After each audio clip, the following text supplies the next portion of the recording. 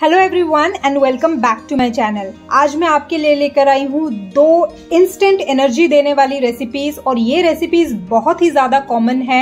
बहुत घरों में इसे आम तरीके में भी खाया जाता है और मैं लेकर आई हूँ दो तरीके से रेसिपी एक मीठी वाली रेसिपी और दूसरी नमकीन रेसिपी तो चलो चलते हैं किचन में और देख लेते हैं रेसिपी को कैसे बनाया जाए।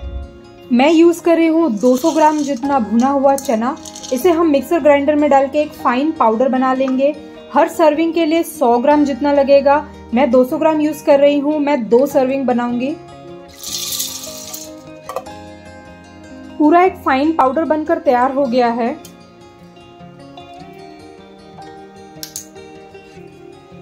आप देख सकते हैं, मैंने इसे एकदम फाइन पाउडर तैयार कर लिया है।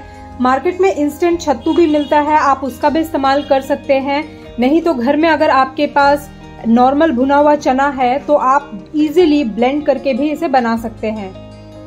मेरी पहली रेसिपी के लिए सबसे पहले हम छत्तू को आधा ले लेंगे।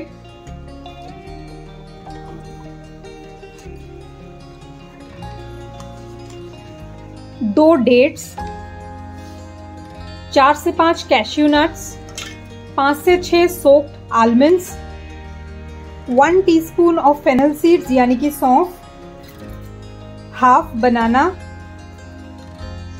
और एक ग्लास जितना पानी। अब हम पूरे मिक्सचर को अच्छे से ब्लेंड कर लेंगे। अच्छे से ब्लेंड करने के बाद मैं कर लूँगी सर्व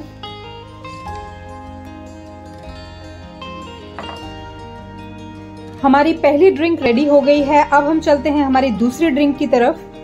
सेकेंड ड्रिंक बनाने के लिए जो मेरे पास जो आधा पाउडर बच गया था, अब मैं इन्हें पूरा यूज़ करूँगी। अब लूँगी थोड़ा सा ब्लैक सॉल्ट पिंच ऑफ़ भुना जीरा पाउडर थोड़ा सा पहले पानी डाल लेंगे। सब इंग्रेडिएंट्स को अच्छे से मिक्स कर लेंगे। अब डालेंगे तीन से चार पुदीने के पत्ते। एक चम्मच जितना बारीक कटा हुआ प्याज। आधा नींबू का रस। एक बार फिर से अच्छे से मिक्स कर लेंगे। अब डाल लेंगे बाकी पानी। हमारी दूसरी ड्रिंक भी रेडी है।